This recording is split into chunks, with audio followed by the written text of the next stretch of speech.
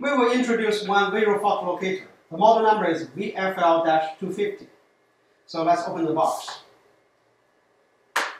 Here's a menu for how to assemble and use this fault locator. And here's a pen-shaped fault locator. We need to open the battery compartment. Two batteries are included. Insert the battery with the positive, positive side at the top.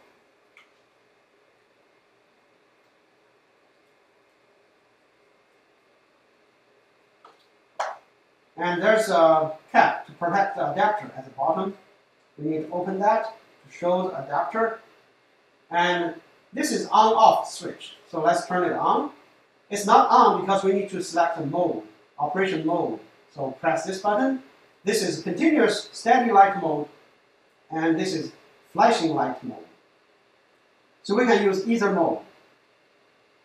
This adapter can accept all the 2.5 millimeter ferrule connectors, such as SC, ST, and FC connectors. So let's insert one SC connector into the adapter.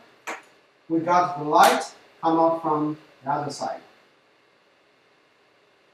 There's no light leakage. We can show by turning off the light.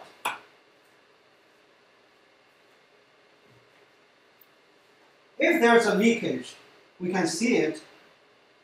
We purposely introduce a tight band that makes light coming out.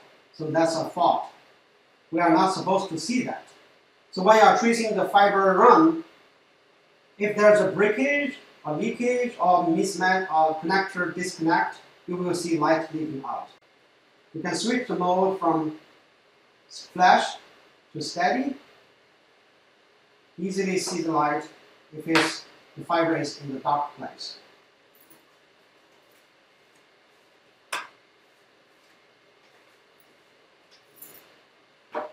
This particular model has a high power red laser that can reach up to 20 kilometers fiber run. There's other models that uh, has less powerful laser that can reach 2 kilometers fiber run. So this is very high quality, very affordable fault locator made of by a Taiwanese company and we have in stock on fiberopticforsale.com.